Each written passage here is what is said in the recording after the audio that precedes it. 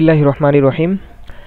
আজকে যে জিনিসটা শেখানো হবে সেটা হলো সিএসএস অ্যানিমেশনের মাধ্যমে আমরা কীভাবে এরকমের ব্যাকগ্রাউন্ড কালারটা চেঞ্জ করতে পারি। আপনারা লক্ষ্য করেন আমার স্ক্রিনের দিকে।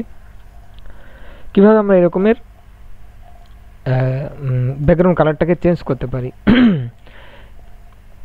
বিগত দিনের মতো আমরা দুটা ফাইল নিয়েছি। একটা হলো ইন্ডেক্স ডট এইচটিএমএল আর একটা হলো স্টার ডট সিএসএস কোডিং শুরু করি।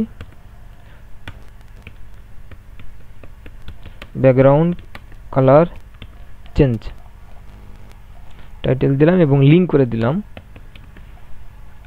স্টার ডট সিএসএস এরপর আমরা এইচ ওয়ান একটা ট্যাগ নিব।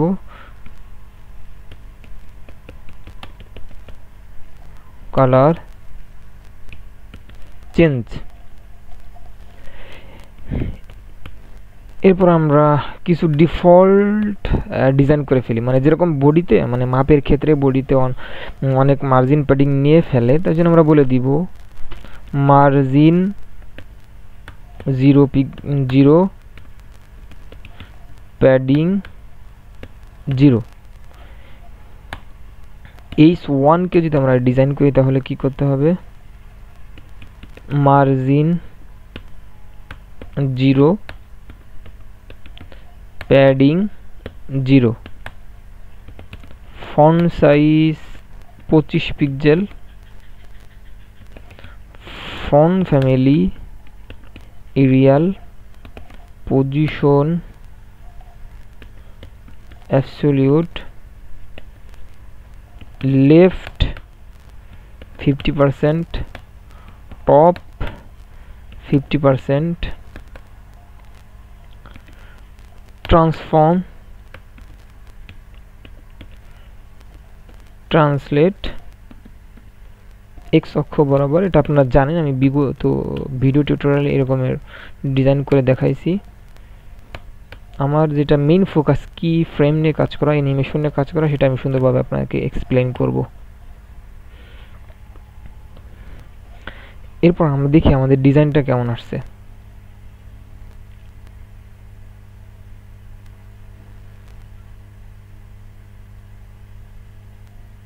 আমাদের ডিজাইনটা এরকম আসছে। ঠিক আছে?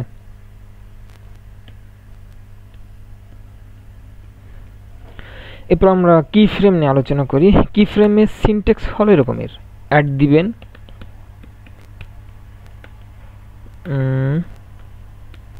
কি ফ্রেমস কি ফ্রেমসের একটা নাম দিতে হবে। আমরা দিই বিজি কালার চেঞ্জ ঠিক আছে? এবার এই কি ফ্রেমটা কীভাবে কাজ করে? পার্সেন্টেন্স হিসেবে আমরা কাজ করাবো। এরকমের।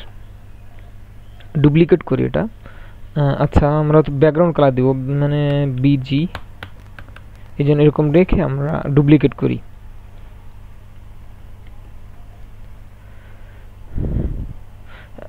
বিশ পার্সেন্ট করে আমরা ইয়ে করি, বাড়াই।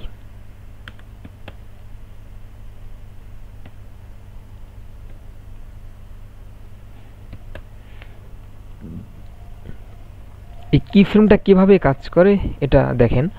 যেরকম এখন আমরা বডির ব্যাকগ্রাউন্ড কালার চেঞ্জ করব, তাই না? বডি তাহলে এই বডির ভিতর আমরা অ্যানিমেশন লিখব। যদি আমরা অন্য ক্লাসের ভিতরে কোনো জায়গা, কোনো ডিবের কোনো ক্লাসের ভিতর আমরা যদি এই কি ফ্রেমটা কাজ করাতাম, তাহলে সেটার ভিতর দিতাম। অ্যানিমেশন এখানে অ্যানিমেশন দিতে হবে, ঠিক আছে? অ্যানিমেশন দেওয়ার পর আমরা যে অ্যানিমেশন একটা নাম দিয়েছি, সেটা এখানে দিতে হবে। দেওয়ার পর আপনাকে বলতে হবে যে অ্যানিমেশনটা কয়বার কাজ করবে। আমরা আসলে এখানে one two three four five যে কোনো দিতে পারি, কিন্তু আমরা এখানে দেবো ইনফিনিটি সময় ধরে কাজ করবে।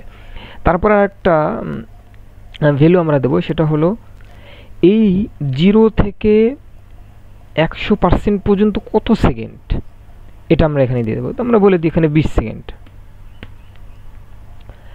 দেখেন এটা কীভাবে কাজ করে? এই বিশ সেকেন্ড হলো এই জিরো থেকে একশো পর্যন্ত এটার একটা লেন্থ আমি যদি আপনাদেরকে ড্র করে দেখাই তাহলে হবে এরকমের। এটা হলো বিশ সেকেন্ড